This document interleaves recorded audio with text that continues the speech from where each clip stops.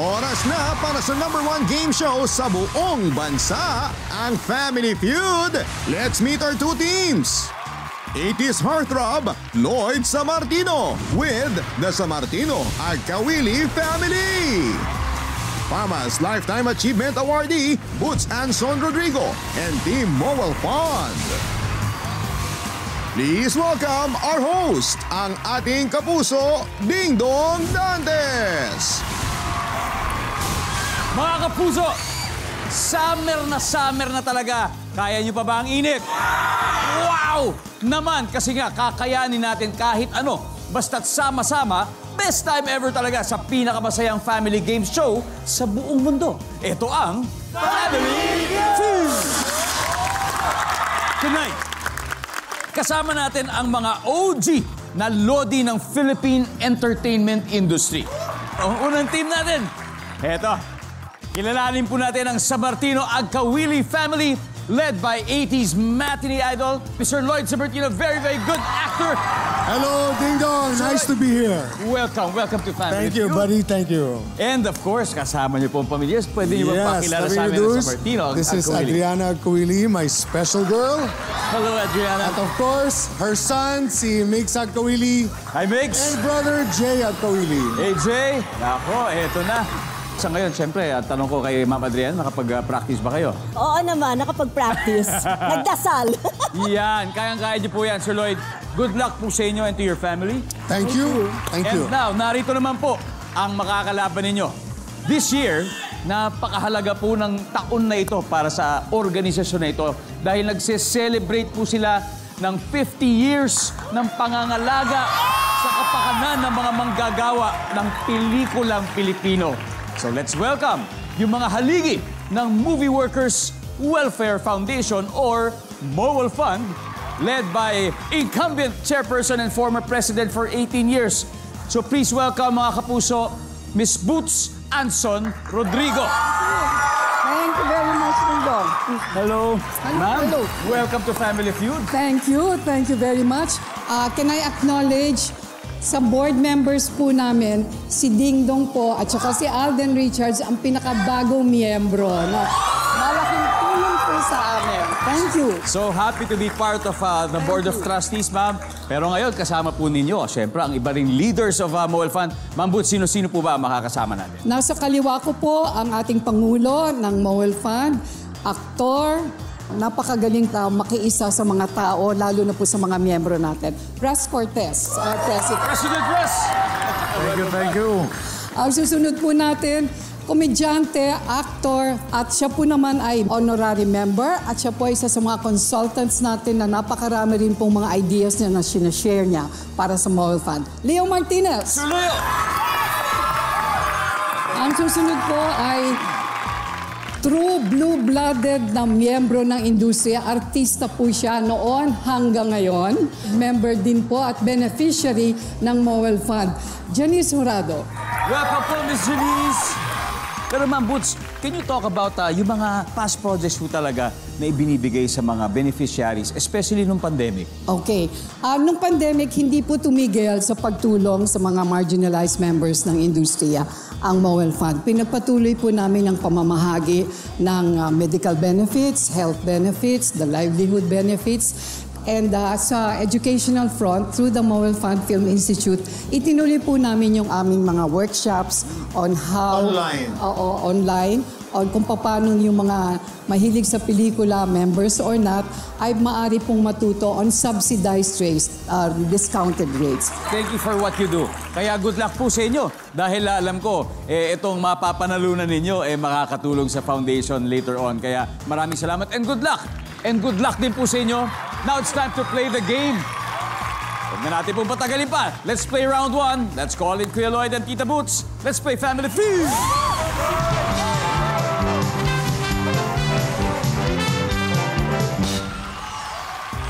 Good luck po. Okay. Narito ang tanong. Nag-survey kami ng isang daang Pinoy. Top 5 answers are on the board. Magbigay ng hayop na ginagamitan ng trap o pain para mahuli. Tita Boots. Daga. Daga. Survey says... Top answer. Tita Boots, pass or play? Play. Play! Okay. Kuya Lloyd, balik muna tayo. Let's go, ma'am. Oh, no coaching.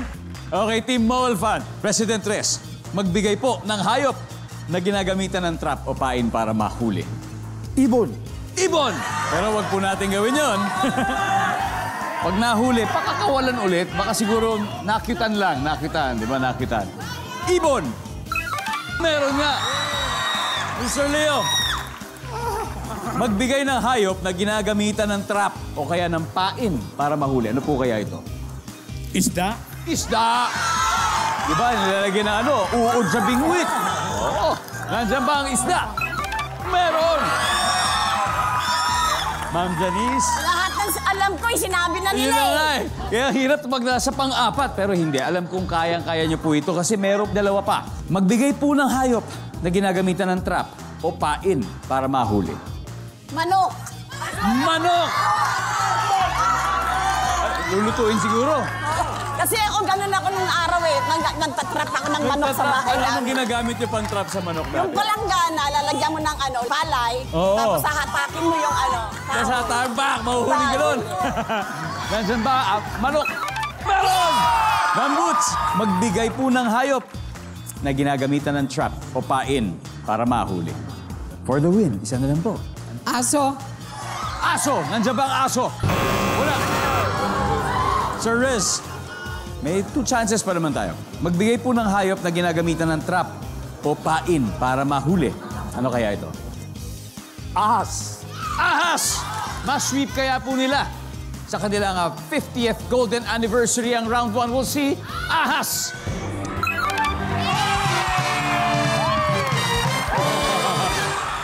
Wow! Hindi na kailangan ng trap dahil huling-huli po agad ng Mowel Fund ang mga puntos dito sa round 1. May 88 points na po sila. Pero dahil na challenge po ang ah, San Martino at Kawili family, sure ako na babawi agad sila sa round 2 sa pagbabalik ng Family Feud.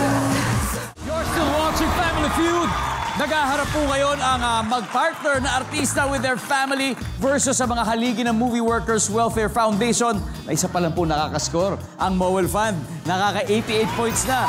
Kaya ito na po ang panahon ni ah, Adriana and Tito Rest. Let's play round 2.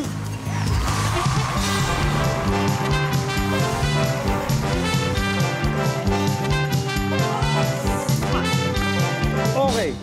Good luck. Ma'am Adriana, we're glad to see you very, very healthy now after that Yes. freak accident. My guardian angels are working overtime. Wow, wow.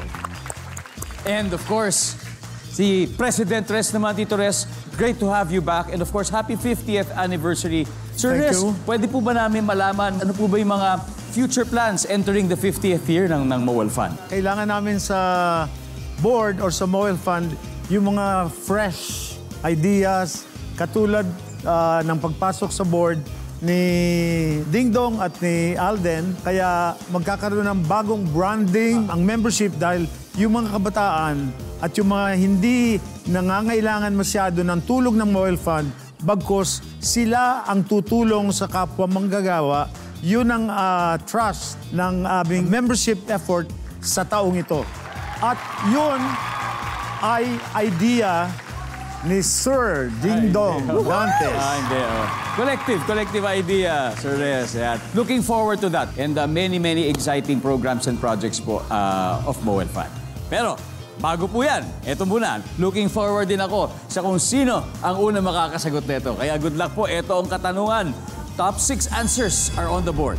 Kung walang tiyan o kaya tweezers, ano ang pwedeng pambunot ng buhok sa kilikili? Nama Adriana? Daliri. Daliri! Diba? Daliri mismo.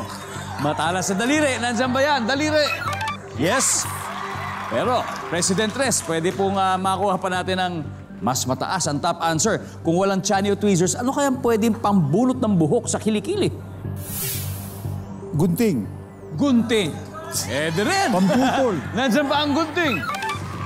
Meron, pero mas mataas po yung sa inyo. Pass or play, Ma'am Adriana? Play! Play? Alright. Okay. President Press, balik po muna tayo. Migs, kung walang chani o tweezers, ano kayang pwedeng pambunot ng buhok sa kilikili? Wax. Pak! Ganunin mo na kagad. Wax! Yun. Jay, kung walang chani o tweezers, ano kayo pwede pambunot ng ah, buhok sa kiligili? Chopstick. Uy! Na- Napaka-creative nun, chopsticks. Habang kumakain ng mami, eh, sandali, tanggalin muna natin to. Survey says Uy. Pero I like that. I like that answer. Wax. Sir Lloyd, Oh, boy. kung wala pong chane or tweezers, ano kayang pwedeng pambunot ng buhok sa kiligili? Ah, depilator. Depilator. Nandiyan po ba ang depilator? O, Bawal fan. Pwede na po kayo mag-usap-usap kung hindi po nila makakuha ito. Mama Adriana, it's your term. Kung walang chane o tweezers, pwede pong pambunot ng buhok sa kiligili. Hindi ko ginamit kahit kailan, pero pliers! Flies! Medyo malupit yun. Siguradong tanggal po yun. Para- Lahat. Lahat, tanggalan lahat. Sa pliers. Wala rin. Okay. Alam na alam niyo to. Ako, si Ma'am Janice, gano'n na naman. May practical answer na naman sigurado. Kung wala pong chani o tweezers, ano pong pwedeng pambunot ng buhok sa Ito kilikili? talaga ginagamit ko nun to. Pag walang tsane. Ano po yun? Coins. Coins! Sir Leo, sa palagay niyo, ano po kaya? Coins din? Hindi, meron akong naiisip, ah, palay o yung bigas na Palay, o Palay o bigas. Wow, mga talagang from experience.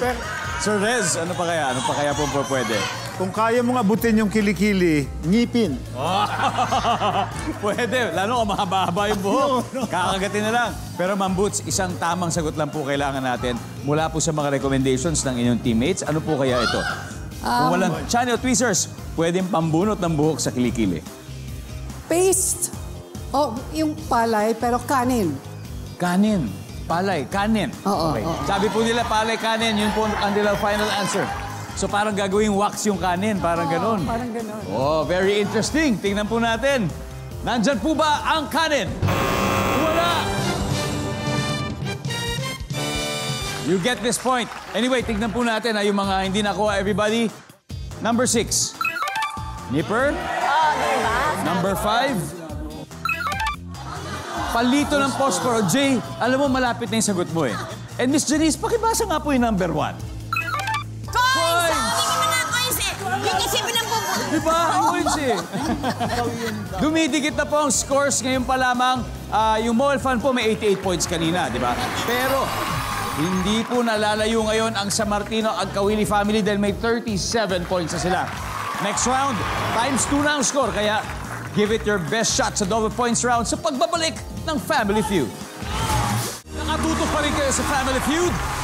Balita namin eh marami pong nanonood ngayon sa mga salon, sa mga barbershop.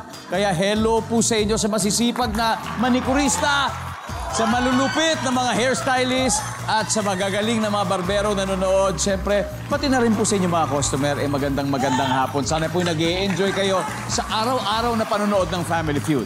Now, balik po tayo sa laro. So far ay naghahabol po sa Martino ang Kawili family na may 37 points habang leading pa rin po ang Mobile Fund with 88 points. Now it's your turn, Migs and Tito Leo. Let's play round three.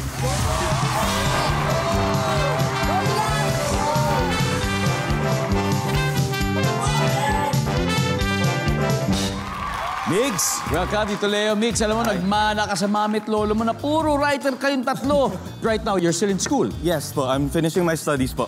Wow. Ano Yeah. bang mga tema na mga isinusulat mo, Okay, Tasha? um, I write ano po, poetry po, and favorite theme ko is romance. Wow, romance. Looking forward to to reading your your work one of these Thank days, you. Migs. And of course, Mr. Romantico, Sir Leo, good to have you back. Sir, um, kamusta po ang ah, doon po sa amin na, na project po ninyo? Napaka-interesting po nun. Well, gusto namin gawin sanang ah, pangsimula ng development of the Philippine creative industry. Kasi bagong batas po yung creative industry. So, gusto namin makatulong tayo doon sa ating bayan by teaching people, teaching the youth and teaching everybody who's interested na mag-aral gumawa ng mga short videos. Ilagay natin sa social media, mapalitan natin yung negativity sa social media into something positive. Yun po ang ginagawa. Nako, looking forward po sa mas marami pa pong programa sa doon po sa amin. Dito po sa amin. Ay, nako, nakaka-nervyos. Kaya good luck po. Kayang-kaya niyo po ito, Migs. Sir Leo, double points round na po ito and we're looking for the top seven answers. Name something na makikita sa lamay. Go! Biggs, Um, coffin. Coffin o ataul? Says yes. Pero Sir Leo, marami pa po. Something na makikita sa lamay. Kape. Kape. Hindi mo wala talaga yan, lalo sa mga nagpupuyat ang kape. Uy, mas mataas. Sir Leo, pass or play? Play. Let's go, let's go. Team All Fun, balikan muna, Migs. Ito po. Miss Janice, Po, name something. Something po na makikita sa lamay. tao. Tao! Survey says Yes, mga nakikiramay. Ma'am Boots, name something po na makikita sa lamay. Patay. Yung patay. Kung walang patay, walang lamay. Services. Ma'am, congratulations. Nakuha niyo po yung top answer. Nakakadalawang top answer na kayo. Thank you po, thank you po. President Res, name something po na makikita sa lamay. Kandila o ilaw? Kandila o ilaw. Siyempre, nandiyan ba yan? Services. Yes. Kung amoy kandila daw, na, na, na, minumulto na. Pero Leo, may dalawa pa tayo. Something na makikita po sa lamay. Bulaklak. Bulaklak. Ayan na. Survey says, one more to go. Nararamdaman ko eh. Alam na alam niyo po ulit ito eh. Name something na makikita sa lamay, Miss Janice. Baraha. Baraha! Palagay po ninyo. Pasok! Nandyan pa ang baraha. Baraha. Oh, ba? Isa na ba? lang? Ma'am Boots, isa na lang po ito. Isa na lang? something na makikita sa lamay. Ah, abuloy. Donation. Abu- oh, abuloy. Donation. oh, Donation. donation.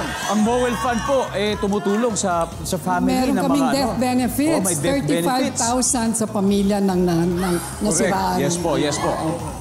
Abuloy, survey says, wala. Okay? Pwede na kayo mag-huddle para mag-isip ng steal answer, pero depende kung makukuha ni Sir Resitos something po na makikita sa lamay. Tarpaulin na ina-announce na kung sino yung patay. Yon. Tarpaulin! Wala! Ito, eh, medyo mahirap eh, kasi isa na lang. Kailangan very specific, Jay. What do you think? Mascard. Mask card, Migs. Something na makikita sa lamay. Mask card. Mask card din. Na Madriana. Pare. Pare. Sir Lloyd, one correct answer is all we need. Something na makikita sa Pagkain. lam. Pagkain. Okay. Okay. Food. Food. Tingnan natin kung nandyan ang pagkain. Alamin natin kung nandyan yan sa pagbabalik ng Family Feud. Welcome back to Family Feud. Sa mga nakatutok sa ating live stream sa YouTube at Facebook, hello po sa inyo. Nako, eto na po ang iniintay ninyo. Isang mainit na pagbati sa mga loyal viewers natin. Sa mga taga Ambulong, Tanawan City, magandang magandang araw po sa inyo. Mga taga Kabuyaw City, Laguna, hello sa inyo. Dinalupihan, Bataan, hello guys. Labangon, Cebu City, Thank you for watching mga taga Alang-Alang Leyte. Nako, maraming salamat po sa inyo. Mga taga Iligan City at Pagadian City. Sana po yung makabisita kayo dito one of these days. At syempre, pati na rin sa mga kababayan natin sa Lebanon, sa Jordan at Qatar, sa Middle East. Maraming salamat po sa araw-araw na panonood po ninyo. Now, before the break, tinanong natin ang San Martino Agkawili family na ano pa kaya yung something na to na hinahanap natin na makikita sa lamay. Ang sabi ni Sir Lloyd, pagkain. Good Food. answer. Pagkain. Good answer. Let's see, pag tama sagot nila, masistil nila ang naipong puntos ng Team Mowal Fund sa round 3. Alamin natin kung nandyan ang pagkain.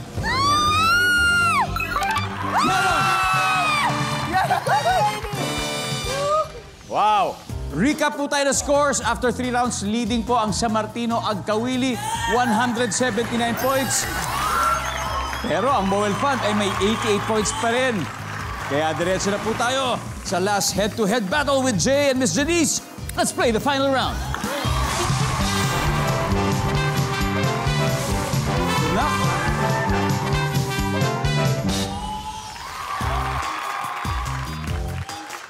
Here we go. Top four answers are on the board. Kanino madalas isunod ang pangalan ng bagong silang ng... Janice. Magulang. Sa magulang! Hindi natin natapos yung tanong, pero gan ganun naman yun, di ba? Kanino madalas isunod ang pangalan ng bagong silang na baby? Nandiyan kaya ang sagot niya na magulang? Malalaman po natin in a bit. Survey says, top answer. Top answer in the final round, pass or play? Play? Play. Jay, balik muna tayo, Jay. Balik muna tayo. Final round. Okay, tatlo na lang po. Ma'am Butch, ano po kaya to? Kanino madalas isunod ang pangalan ng mga bagong silang na baby? Foster parents o yung nag-ampon? Yung nag-ampon, nandyan po ba yan? Survey says. Wala po, wala. Pero may chance pa tayo. President Tres, kanino kaya madalas isunod yung pangalan na ng baby na bagong silang? Ah, mga santo. Mga santo. Nandyan po ba ang mga santo? Yes! Sir Leo, dalawa na lang. Sa grandparents. Sa mga lolo't lola, grandparents. Totoo po yan. Lolo't lola. Survey says, yes! Sa inyo po nakasalalay ang pagkapanalo ng Mobile Fund ngayong araw na to. Kanino po madalas isunod ang pangalan ng bagong silang na baby? Kalendaryo. Kalendaryo. Si Abril. Si Abril, si Mayo, si, Si May. Mayo. O, di ba? Si July. Si June. Si December. Ah, walang December. Wala, wala tayong kilalang December, no? Kayo ba meron? Si December? si August meron. Ah, Agosto. Si Agosto. oo. Diba? Nandyan po ba ang kalendaryo? Says, wala.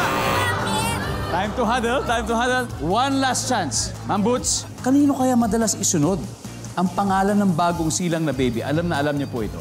Okay, mga bayani, kilalang tao. Oo. Ang sabi po nila ay bayani. Nandyan po ba ang bayani? Bakit wala?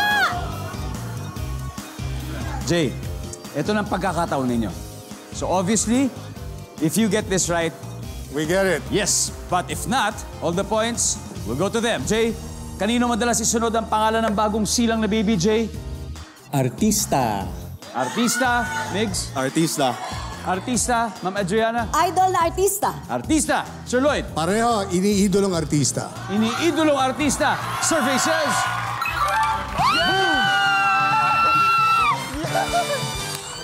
Yes. Ayan po ang ating final score sa Martino Agkawili family, 470 points. Mowel Fund, 88 points. But still, uh, congratulations and of course, happy 50th anniversary to you. Thank you. Thank you. Muli, maraming salamat. And of course, congratulations. You've won 100,000 pesos already, Sir Lloyd. Thank you, sir. And uh, Not sino bad. po ang uh, not bad at all? Sino Okay. pa maglalaro sa ating Fast Money? Ah, kami ni Adriana. Alright, it's gonna be Lloyd and Adriana. Nanalo na sila ng 100,000 pero hindi pa yan ang goal nila dahil meron pang isang 100,000 at stake. Kaya ito na po, mangyayari yan sa pagbabalik ng Family Feud. Nagbabalik po ang Family Feud. All smiles po ah, si Sir Lloyd ng San Martin at Agkawili family dahil ah, syempre nanalo na po sila ng 100,000 pesos. Dodoblehin po natin yan. Pero bago yan, meron po ba kayong mga gustong batiin? Siguro, I want to greet my mom, Carmen, and uh, my son, Sergio. At ah, siyempre, ah, sigurado po ako, umaasa rin po kayo mag-uwi ng total cash prize na 200,000 pesos. Dahil yun din ang gusto po ng mga manonood. At Yes, gusto rin po ng mga you. manonood na malaman kung sino ba ang chosen charity ninyo na makatatanggap ng 20,000 pesos. Well, uh, we decided, dahil sa noble cause ng Mowel Fund, Mowel Fund deserves it. Mowel Fund!